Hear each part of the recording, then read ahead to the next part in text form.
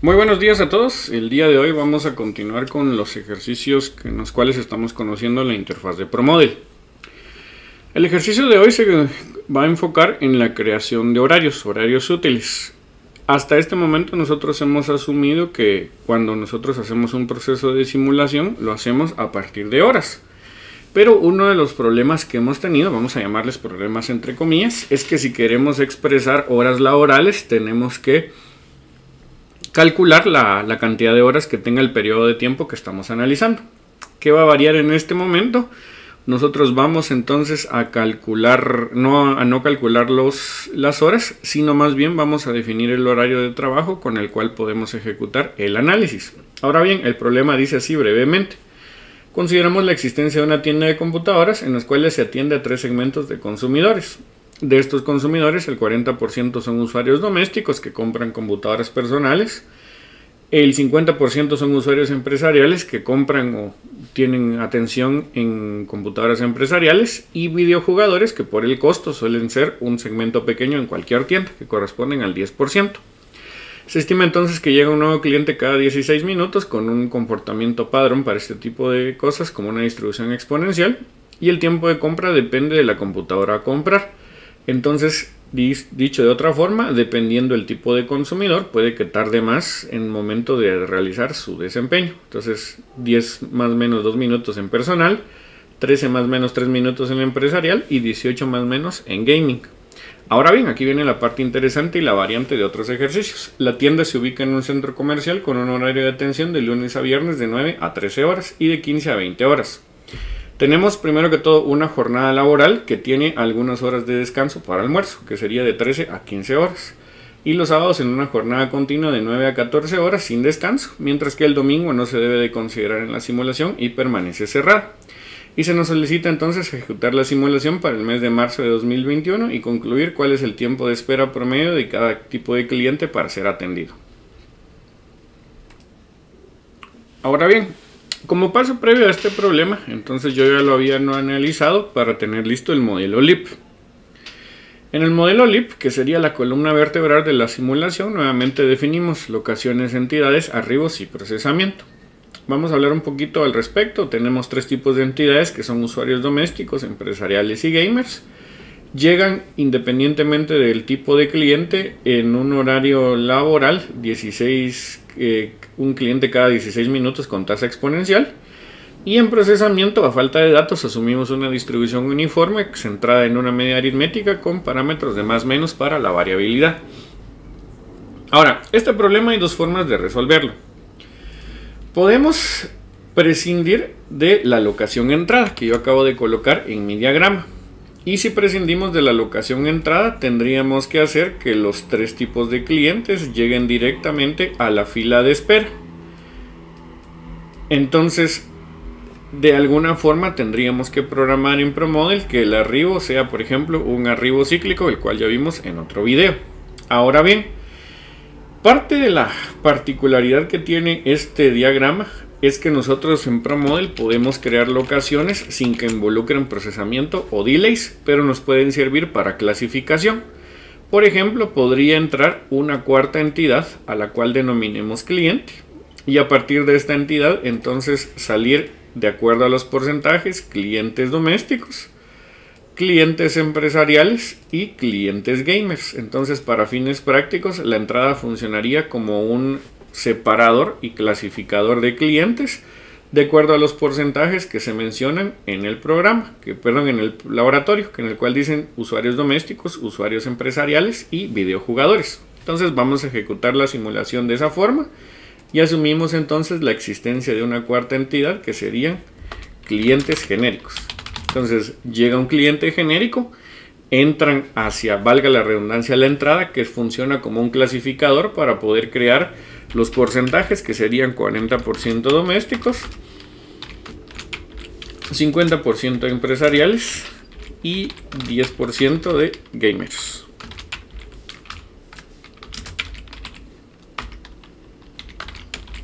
Bueno, entonces procedemos en ProModel. Como ya hemos hecho bastantes ejercicios al respecto de ProModel, vamos a ser un poquito más rápidos en la definición. Entonces procedo a definir las locaciones. Recuerden que a menos de que yo quiera un objeto especial, del lado izquierdo yo tengo los objetos genéricos y el objeto genérico para no tener una representación gráfica, pero saber que las entidades pasan por ahí, es el objeto region. Region sinceramente no significa nada y aunque en el diseñador tiene una forma de cuadrado, se van a dar cuenta en el simulador que no significa o no muestra ninguna representación gráfica. Pero a esta region entonces sí le podemos definir entrada.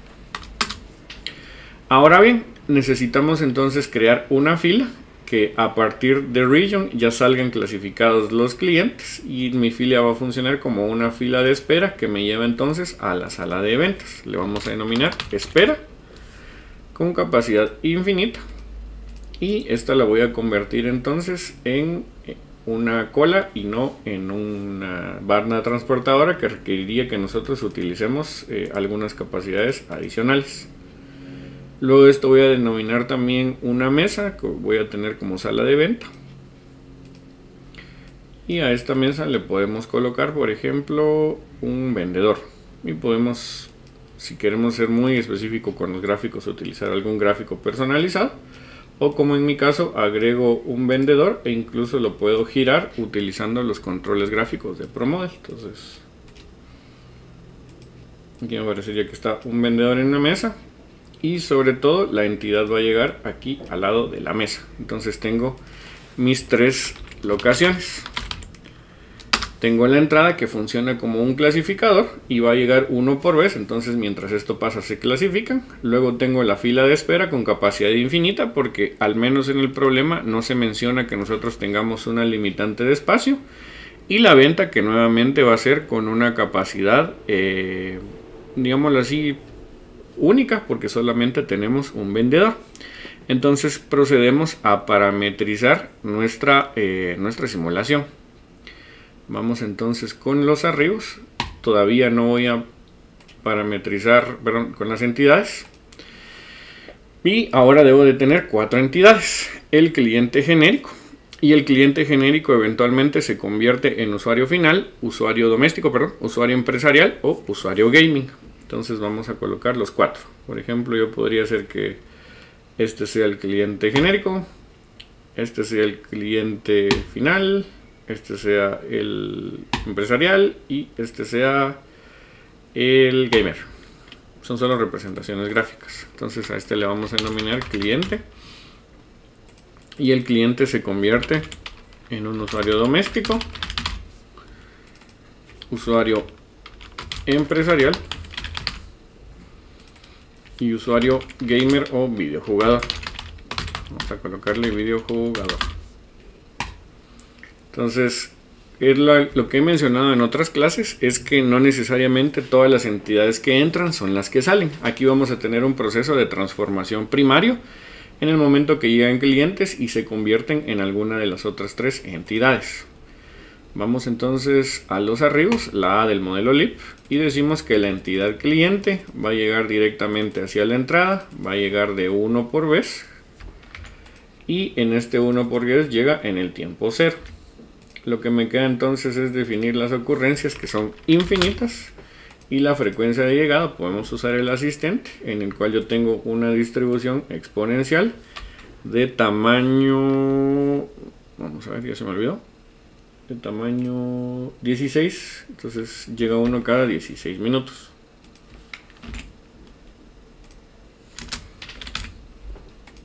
Y tengo entonces las llegadas. Todavía no he configurado el horario.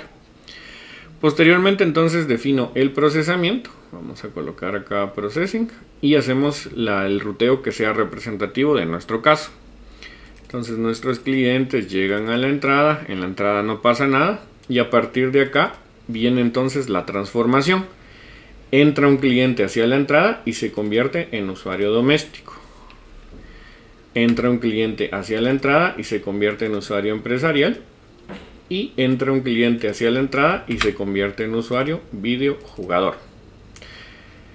Entonces aquí podría ser que se distribuyan uniformemente 33%, 33%, 33%, dependiendo cómo vayan llegando. Pero yo puedo ajustar la regla con la cual se hace esta transformación. Entonces si hago doble clic, yo puedo seleccionar un porcentaje de probabilidad que tiene que ir en línea con la definición del problema. Entonces, los domésticos llegan 40%, empresariales 50% y videojugadores 10%. Ahorita estoy trabajando con doméstico, entonces mi probabilidad es de 40%. Nuevamente doble clic. Mi probabilidad es 0.5 para los usuarios empresariales y nuevamente doble clic para establecer una regla de probabilidad de 0.1 para completar el 100%. A partir de acá, entonces asumo que de aquí en adelante ya no voy a tener clientes, sino únicamente voy a tener... Eh, aquí hice mal un clic, lo quitamos y quitamos esta regla que no me está sirviendo en este momento. Ok, entonces aquí puedo asumir que de la entrada en la fila ya van a haber únicamente usuarios domésticos, empresariales o videojugadores, que es lo que me queda, trabajar con ellos. Entonces mis usuarios domésticos llegan a la fila de espera y en la fila de espera no pasa nada. Pero posterior a la fila de espera, mi usuario doméstico llega entonces a la venta. Nuevamente, un usuario doméstico cuando se encuentra en la venta tiene un tiempo de operación. Podemos usar el asistente y el tiempo de operación para el usuario doméstico en la venta, el usuario personal, con una computadora personal es uniforme de 10,2. Entonces hacemos una espera, uniforme de 10,2 minutos y comprobamos que esté bien. Ok, cuando un usuario doméstico se encuentra en la venta, simplemente sale del sistema. Y lo mismo vamos a hacer para los usuarios empresariales, los cuales llegan a la línea de espera y aquí no hacen absolutamente nada, pero de la línea de espera se van hacia la venta. Y una vez que están en la venta, entonces mis usuarios empresariales tienen un tiempo de atención, que en el caso de los usuarios empresariales es de 13,3. Entonces cambiamos acá, yo ya sé que la expresión está bien, no necesito compilarla. Y una vez estando entonces el usuario empresarial en la venta se dirige hacia la salida. Por último entonces tenemos al usuario videojugador o gamer que llega a la fila de espera.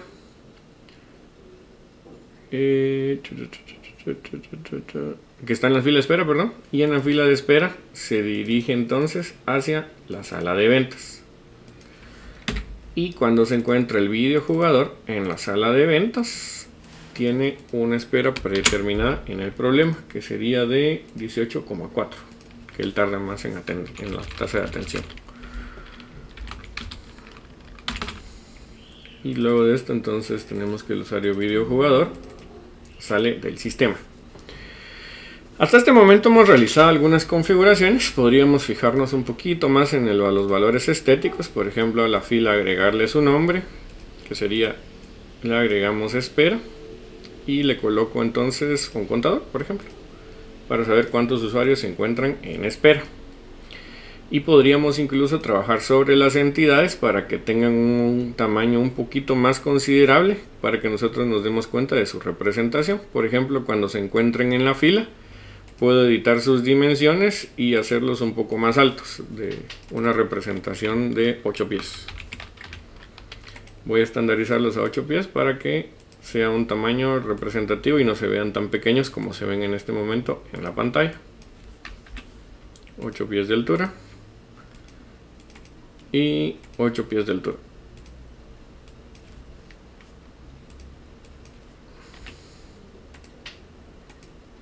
Listo entonces cuida algunos aspectos estéticos bueno locaciones entidades arribos y procesamiento ¿Qué me queda entonces? La definición de los horarios laborales.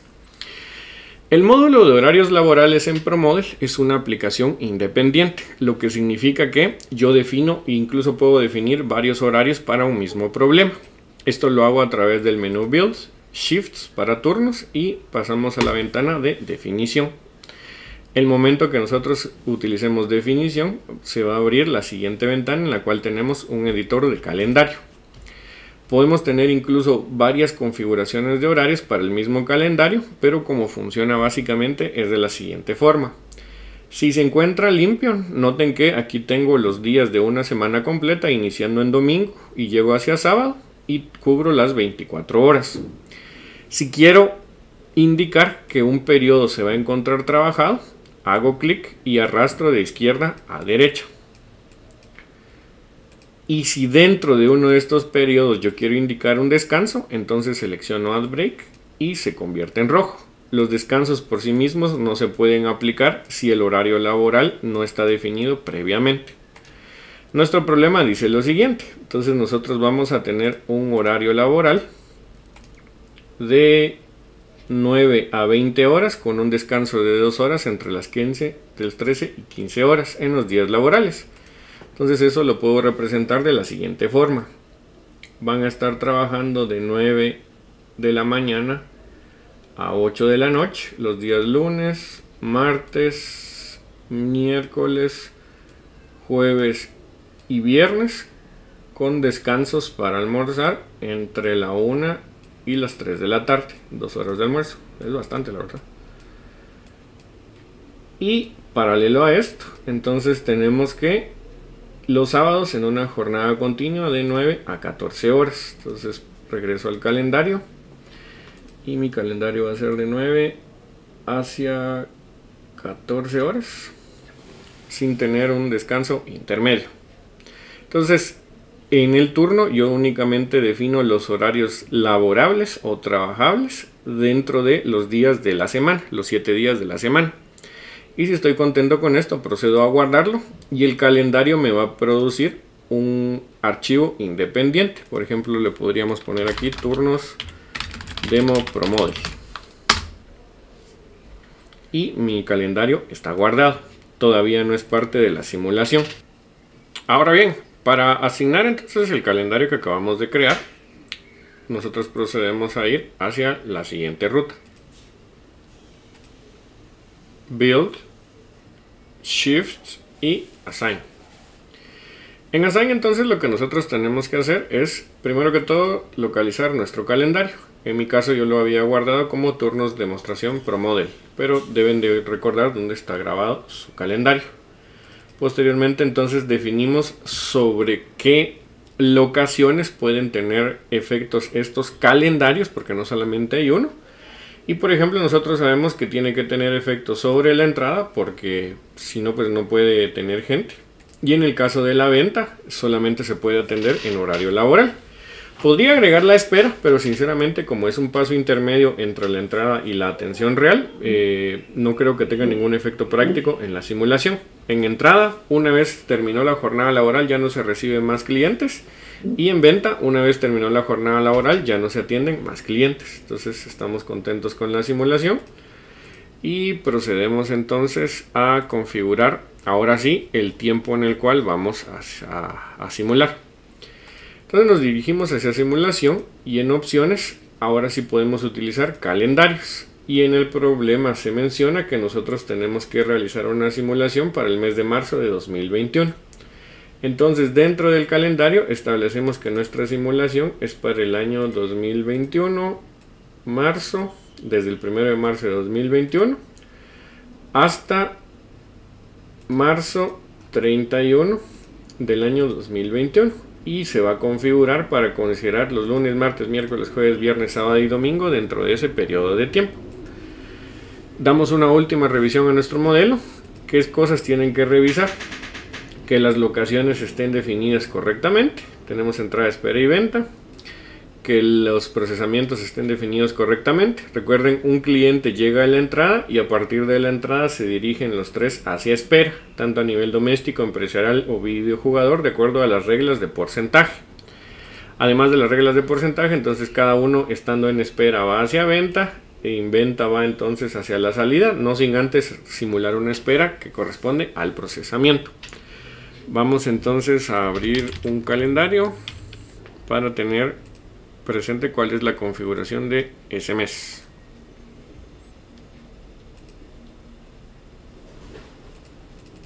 Entonces déjenme regresar en mi calendario. Y esta es la configuración de marzo 2021 que vamos a simular. Entonces mi simulación va a empezar en un lunes si el calendario es el correcto y debe de detenerse hasta el domingo 7 porque no tenemos atención. Vamos a analizar solamente la primera semana y luego lo voy a acelerar. Entonces selecciono ejecutar. Y noten que efectivamente empezó un día lunes. Originalmente está vacío hasta que se dan las 10 de la mañana. Y se vuelve a parar a las 9 de la noche. Entonces algunos quedaron pendientes o pendientes de atención. Podríamos descartarlos colocándole una capacidad a la fila o cambiándola de acuerdo a algún horario. Pero vean que conforme avanzan los días, ya voy en martes, los horarios que no se trabaja, que son entre la medianoche y las 9 de la mañana, el sistema no recibe más clientes. Y noten que en la representación gráfica, efectivamente nuestra configuración es capaz de generar distintos tipos de clientes. Vamos a acelerarlo un poquito. 6, 7, 8, 9 Vemos entonces que hay distintos tipos de clientes y dependiendo cuántos segundos tarden en atenderlos, vamos a ver distintas formas y distintas entradas de acuerdo al porcentaje. Entonces, ahora sí, aceleramos la convergencia hasta el sábado y quiero que vean qué pasa el domingo. Como el domingo no es declarado un día laboral, noten que llegamos a las 9 de la mañana y no llega ninguna persona nueva hacia el sistema el tiempo está pasando en la simulación, pero ni la entrada ni las ventas están representando entonces esfuerzo. No es hasta que regrese el día lunes que nuevamente volvemos a tener entradas al sistema. Descansamos en el horario de almuerzo. Vamos a tratar de llegar al horario de almuerzo.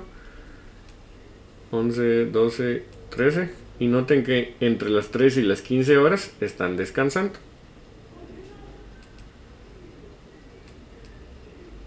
Vamos a acelerar un poquito. 10. Entonces estoy entre las 13 y las 15 horas y no están llegando nuevas personas al sistema hasta que se dan las 3 de la tarde. Ahora sí, acelero para tener mis resultados.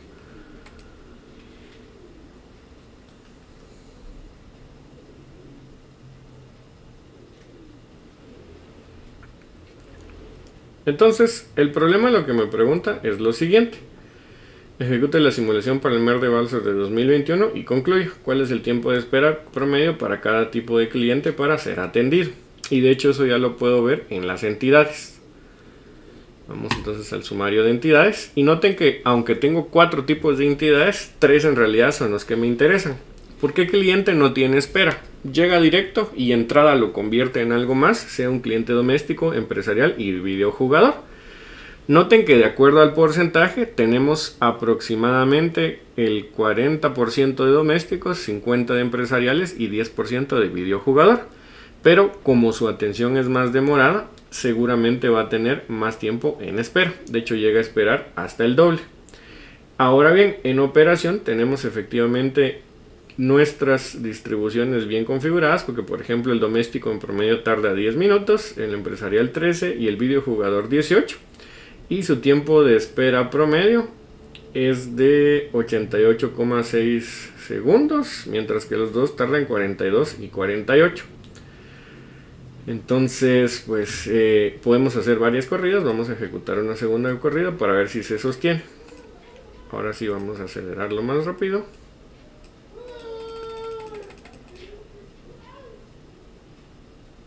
Y veo los resultados.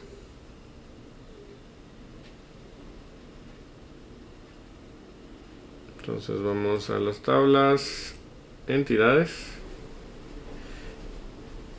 Y noten que el tiempo de espera se mantiene, con lo que el videojugador en general es el que tarda más porque tarda más tiempo en el sistema.